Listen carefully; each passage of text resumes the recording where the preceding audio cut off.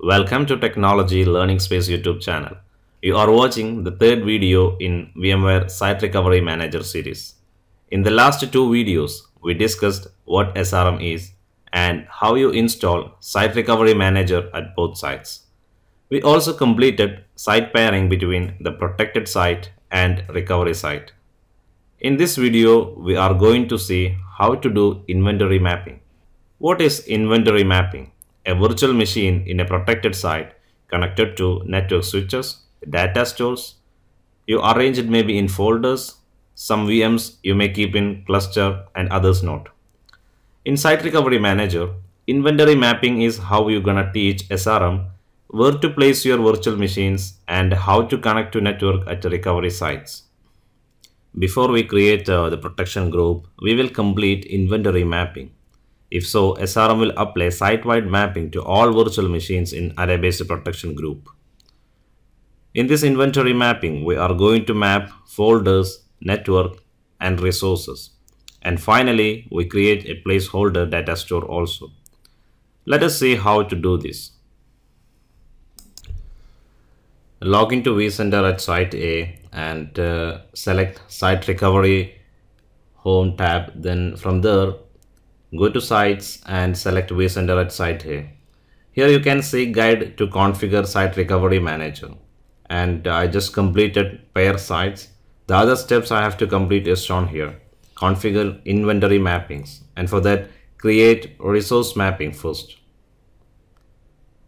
Here the available data center A at the main site and data center B at the recovery site is showing there. So expand data center A. You can see I have only one uh, EXSI machine.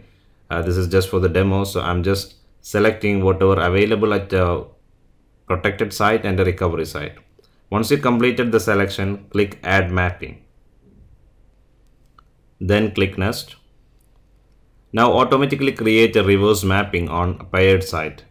So this will help you when you want to protect uh, the protected virtual machine uh, from recovery site to protected site.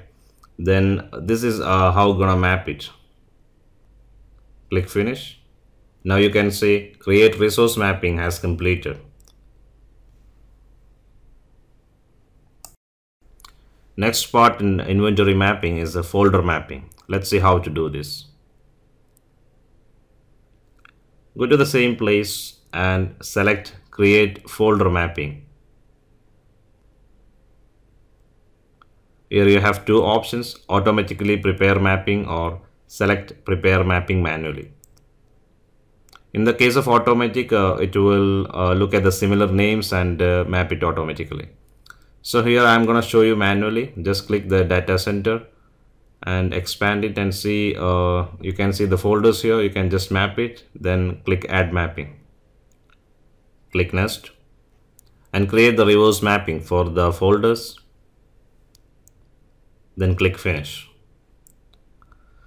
Now you completed the create folder mappings. Next part in inventory mapping is network mapping. Let us see how to do this. From the same page uh, click create network mappings. Then same you have two options. Here I'm gonna do it uh, with prepare mapping normally.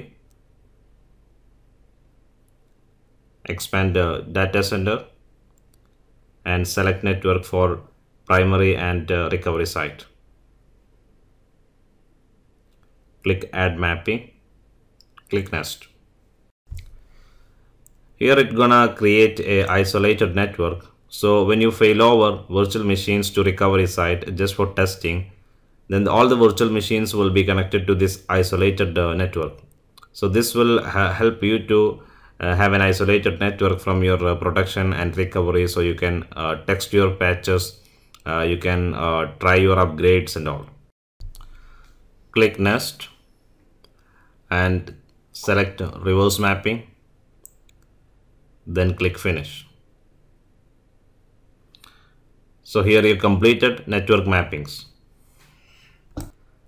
Next is placeholder data store.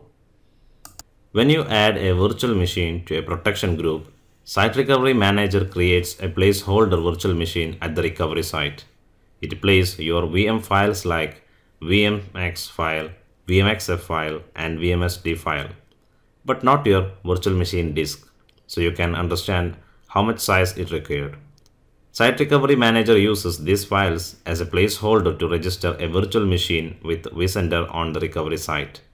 The presence of placeholder in the recovery site inventory provides a visual indication to SRM administrators that the virtual machines are protected.